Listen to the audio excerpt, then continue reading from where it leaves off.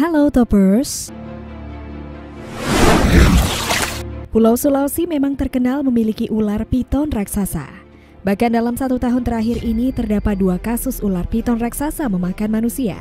Yang pertama terjadi di Kabupaten Mamuju, Sulawesi Barat, di mana korbannya adalah seorang pria dan yang terbaru di Kabupaten Muna, Sulawesi Tenggara, di mana korbannya adalah seorang perempuan. Rupanya ular piton yang tertangkap dan memakan manusia tersebut hanya sebagian kecil saja karena diperkirakan masih banyak ular piton dengan ukuran raksasa berkeliaran.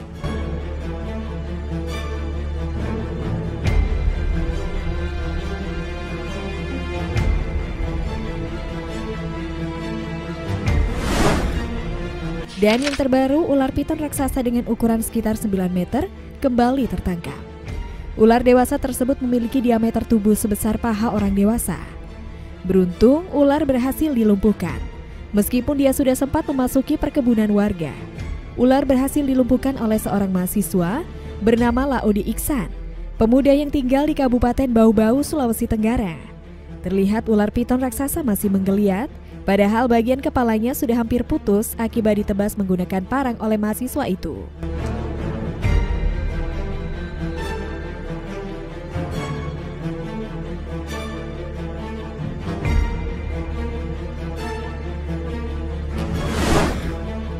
Beberapa waktu lalu juga beredar video viral memperlihatkan penemuan seekor ular piton raksasa di Sulawesi Tenggara. Tampak dalam video delapan orang petani di salah satu lokasi hutan memikul ular piton raksasa. Ular piton tersebut memiliki panjang 7 meter. Namun sayang, ular piton itu sudah dalam keadaan mati ketika delapan petani tersebut membawanya ke desa mereka.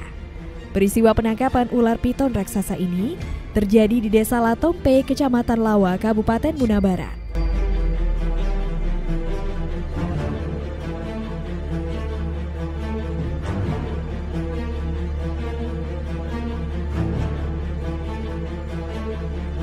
Menurut cerita, sembilan orang petani memergoki seekor ular piton di dalam areal hutan.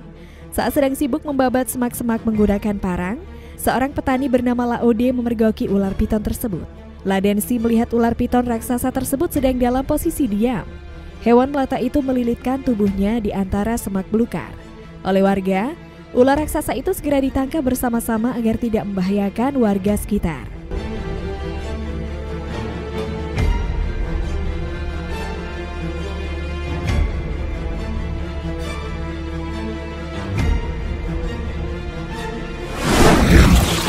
Netopers, Bagaimana kalau menurut kalian tentang pembahasan video kali ini?